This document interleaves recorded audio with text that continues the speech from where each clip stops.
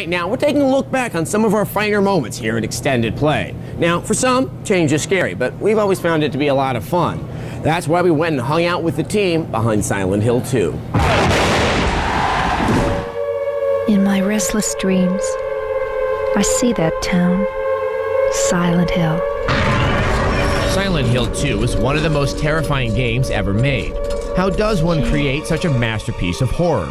We ventured to Konami headquarters, 2x4s and flashlights in hand, to find out.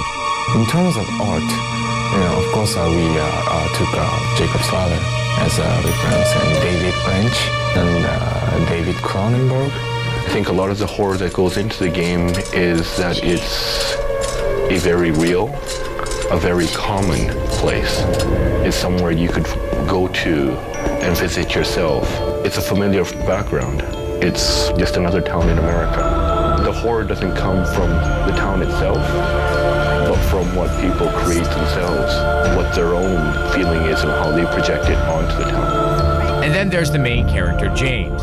He's not exactly the action hero type. We set the main character as a normal person. You know, he's like he's like a living, uh, you know, neighbor next to uh, our home. Excuse me, I. I'm sorry. Naturally, uh, people has uh, you know uh, lots of uh, emotional incident in their life, and uh, we plan to uh, make together their life and their you know normal days and then horror. You know. That means uh, horror suddenly impact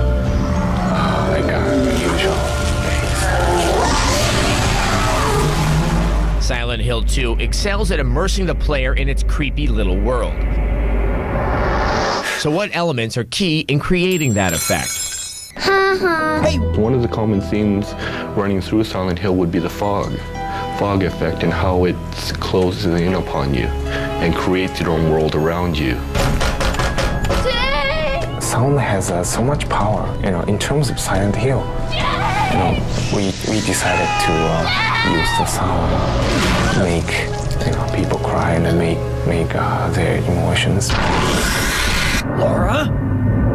Okay, I guess I won't open it. The first concept of uh, Silent Hill is stimulate humans' more primitive instinct. They must both the hell alone! What we've gone out to really try to do to create a scary image. I mean, we don't want to just jump out of closet and say boo and scare you. It was to have that subtle feeling of something's wrong. I don't want to know what's around the corner, but I'm kind of compelled to. It's out of a morbid fascination to see what's around that corner. Nine out of ten times, there's nothing going to be there. But you've already built up that tension in yourself so much that you're afraid to look around that corner. People feel something about uh, you know old things, even though it's uh, you know house or furniture a, doll. Whatever has a history, people you know put something his emotion in it. Finding that kind of thing is our job. A job the folks at Konami are clearly very good at.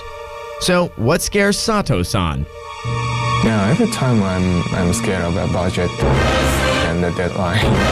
Oh, deadline is uh, just uh, you know in two weeks. Perhaps Silent Hill 3 will feature the unspeakable horror of sleeping in a cubicle. I'm here. Any final James. thoughts for the players out there? Silent Hill 2 is about the experience.